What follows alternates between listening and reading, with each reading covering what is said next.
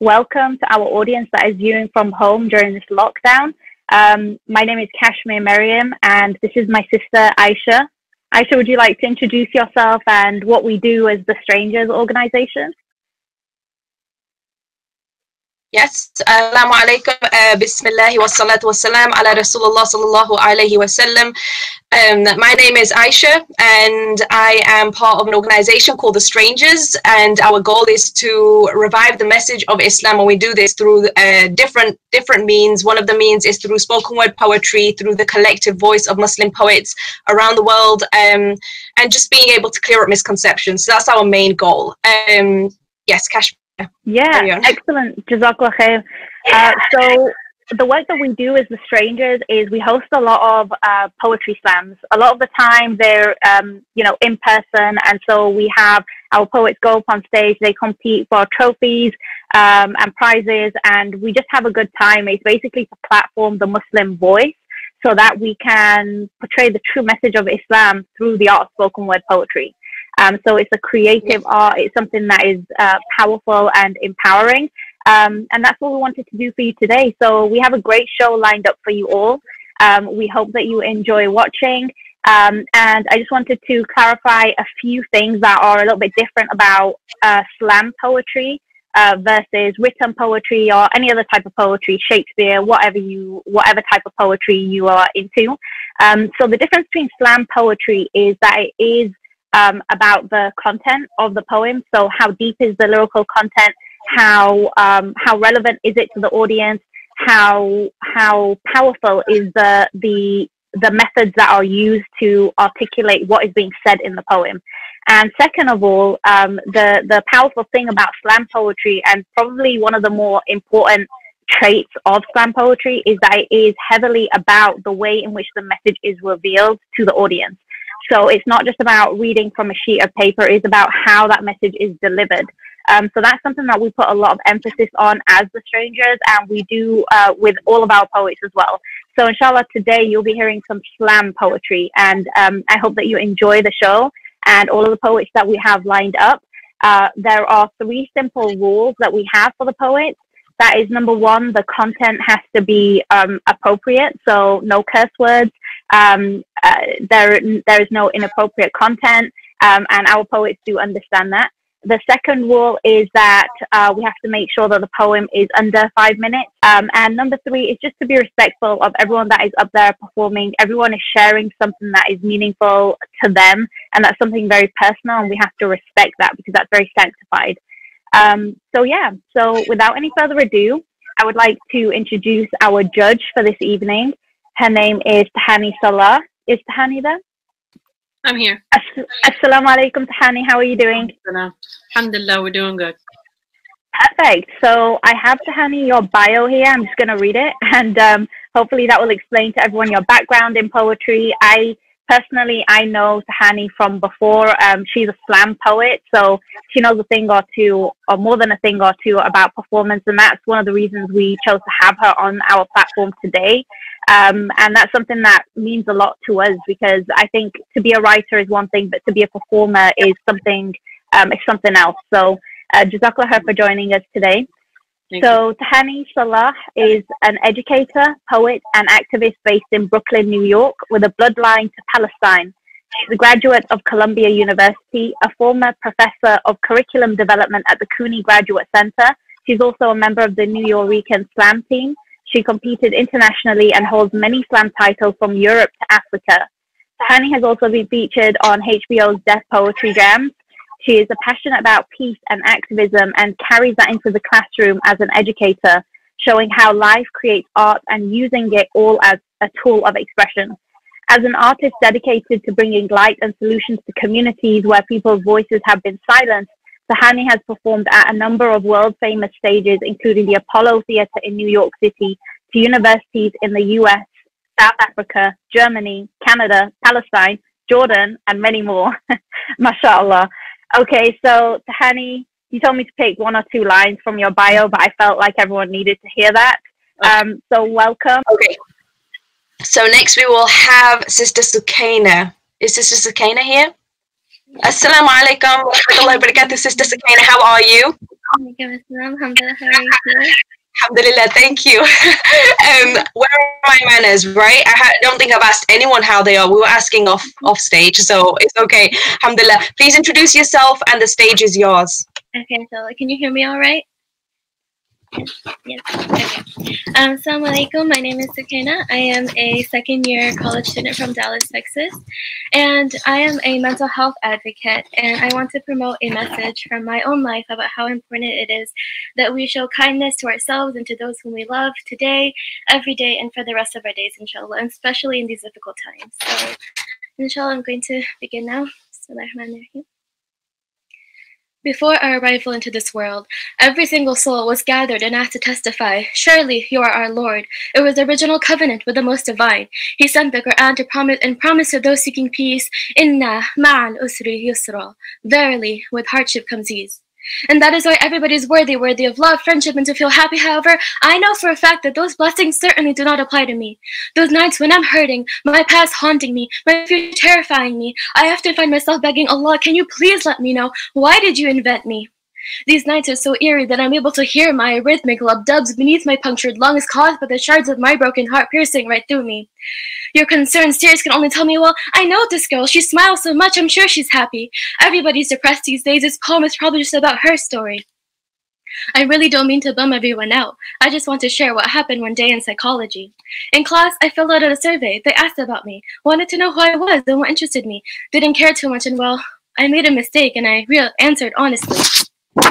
Days later, ding came an email, said it was an emergency, said Miss Stein needed to see me. I sat in her office in her waiting room freaking out. Maybe it's because I turned in my quiz too quickly. Soon came a middle-aged lady. Her kindest smile, her voice was sweet. We both sat down in our seats. Thank you for coming in, Sukaina. I have learned you want to kill yourself. You need to call immediately the Center for Mental Health. In this moment, it seemed as if the world had stopped spinning, hurling me into orbit. My, I felt dizzy, my heart sank, just like the night sky. My mind went into its dark place, barely grasping onto reality. I thought, this was it, huh? Somebody had finally figured out I was crazy. My voice became a shaky quiver, similar to right now. I said, Ma'am, I'm sorry. You just caught me off guard. Nobody has ever said any of my thoughts out loud.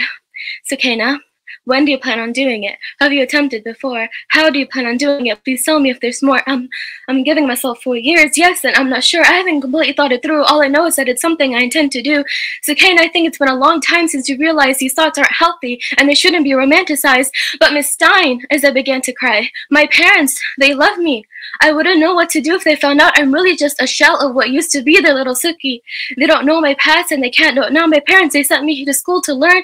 I can't cause them any burden. I can't have them worried with concern. Sukaina, be patient. Tell me what's wrong.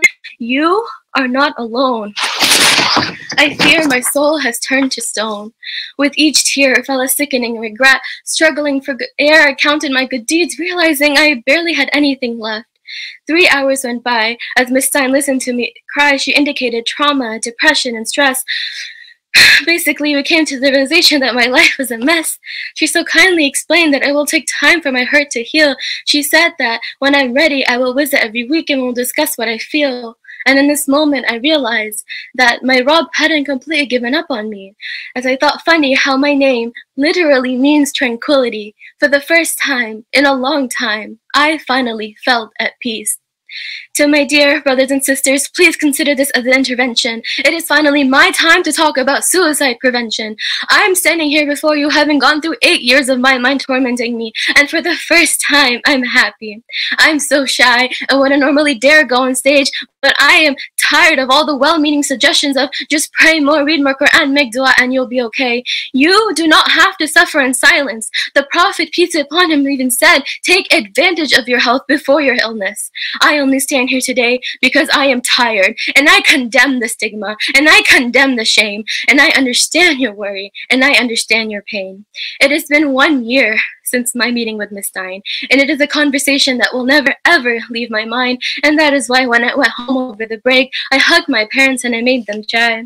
I sat down in the sofa and said with all the courage I had mustered in me, Ammi and Abu, I want you to know I am going to therapy. Thank you. Wow, wow, wow. Where do I begin? SubhanAllah, you blew me away, Sukaina. I I really liked piece when you submitted, and I just thought we needed someone to speak about this because mental health has such a stigma in our community, and I think that people are only now beginning to understand and appreciate it. You know, so may Allah you for shedding light on that and for sharing your own personal um, experiences. It takes a lot of courage. Um, and keep shining, keep sharing that message. May Allah reward you. Exactly. Thank you so much. I mean, Jazakallah khair for sharing, sister. That was a deeply beautiful, personal poem. Sister Tahani, I'm sorry again. No, I was going to say something. I think I have a delay on my side, so I jump in. It's okay. Um, I, it's a phenomenal topic for you to pick. It's something that's uh, very touching and uh, it's very relevant. Subhanallah, we have a um, we have a, a, a I don't want to call it an epidemic, but it, it is a, a, situation where there are a lot of young people that don't have vices to express what they're going through, the challenges of, um, you know, the test and the trials and tribulations Allah puts uh, um, in front of us and how we go about, uh, you know, taking them on. But um, that is, it's very important for us. And there's such a stigma behind mental health in, in the Islamic and uh, Middle Eastern, South Asian communities uh, we we we don't necessarily think it's something. And you said it in your poem, "Pray more, read more," and um, you know, I've had many young people come to me and confide in me and ask me what to do, and always, Subhanallah, it, it is the first thing that comes to your mind. Read more, pray more. Allah's always there because you know that's the purest of of our hearts and um, it is a, a, stigma and i'm very very proud of you that you are going into a field that um mashallah it, it is a, a, very heavy thing to carry, but inshallah, you'll help a lot of people. Thank you so much. You're welcome. I want to thank everyone here. I want to thank primarily uh, for hosting us on their platform every single year when we host this. It's just an amazing success, and I can say Alhamdulillah from the bottom of my heart. I think this was phenomenally successful. So Jazakallah khair. I want to say a special Jazakallah khair to uh, Tahani for doing this, for doing the very, very difficult job of judging. It can never be. Thank you so much. And may Allah reward you and um, and uh, you know for taking the time out. You're also a mother, so you know, it, I know it's difficult juggling uh, duties, so I'll reward you for that. And um, yeah, do you have any closing remarks, Aisha? Um, I just wanted to say that um, alhamdulillah, alhamdulillah, alhamdulillah.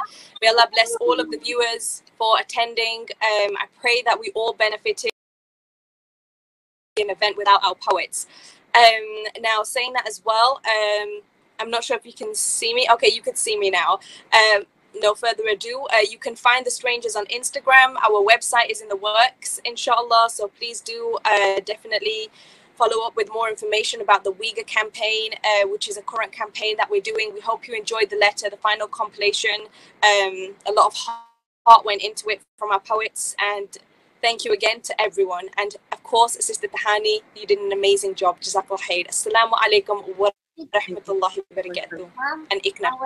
Of course, ICNA. and lastly, I just want to say the greatest thank you to all of our poets for contributing their pieces. Each one was mind blowing and touched my heart. And I'm sincerely saying that as someone who's been to a lot of poetry slams and had a lot of poetry over the years, as Tahani and as Aisha can both attest to, we had an amazing level of talent tonight. Um, so may Allah reward you all. And yeah, I'm going to close it right there. And assalamu alaikum wa rahmatullahi wa barakatuh.